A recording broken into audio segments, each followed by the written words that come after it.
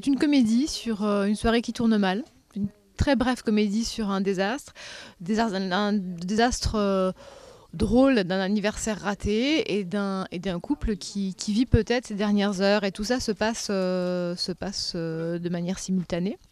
Voilà, je peux pas en dire plus parce que je dévoilerai absolument le, petit suspense que j'ai essayé de développer dans- dans ce livre, donc ça serait dommage. Le magnétisme dégagé par des chatons en vidéo basse définition agit même sur les individus les plus sensés, suscitant des comportements regrettables, glapissement, répétition compulsive du visionnage, emploi d'adjectifs prohibés tels que chou, craquant, qui portent gravement atteinte à la dignité de leurs auteurs.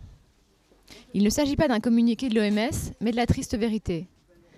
Que quelque chose soit petit, fourré avec des grands yeux, et voilà, fin de la civilisation. Le phénomène se vérifie aussi auprès des petits chiens.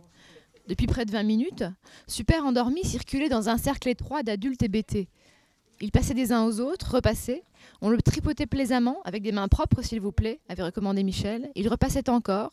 Certains râlaient de ne l'avoir tenu qu'une fois, quand d'autres se laissaient aller à lui appliquer sur le crâne, voire sur le ventre, de furtives papouilles. Oui, parce qu'évidemment, je, je ne vis pas encore de la littérature, mais c'est mon rêve le plus fou. Je travaille en freelance dans le, cons- dans le conseil et je suis sociologue de formation. Et donc, je fais des, des expertises, euh, des enquêtes, des interviews en freelance euh, pour des entreprises ou pour euh, les ministères, des équipements culturels.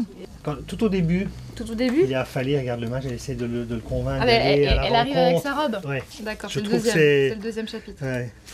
Moi j'adore ça Le match, ça, le match devait être hier et quand il est euh, vers le poste où se met un crocodile ou, ou plus tard J'avais vraiment besoin d'un encouragement euh, fort.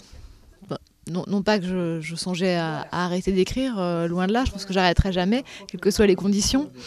Mais ce prix me, me donne des conditions euh, symboliques inespérées. Voilà, en ce moment j'ai commencé mon troisième livre et, et je le fais euh, sous le regard bienveillant du, de, de- ce prix-là et j'imagine voilà, les, jurés derrière qui m'ont qui m'ont lu, qui... C'est difficile à exprimer, mais pour moi, voilà, il exprime beaucoup, beaucoup de bienveillance et beaucoup d'attention. Ça change tout de réaliser un, de réaliser un rêve. Alors, pour moi, il se trouve que c'était la littérature.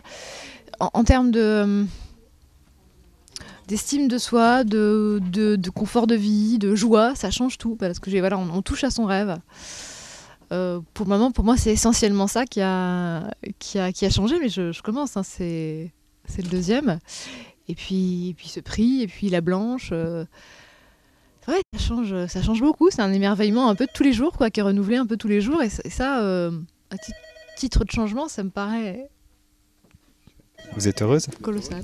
Ah oui, ça, se voit- ça se voit pas.